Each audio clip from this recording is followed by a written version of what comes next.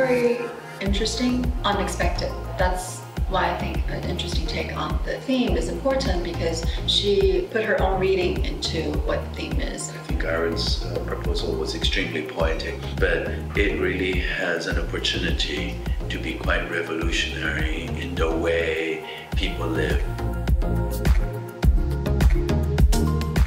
It's an interesting challenge, this project that she's working on, because it deals with a number of issues. We also dealt with the idea of breaking away from the convention and the typology of you know, pure functional thing and maybe questioning what are the necessity and the needs required for it. She really needs to be able to think of the prototype and start getting her hands dirty and just make different things that, that will contribute to the prototype. There's a lot of work to be done.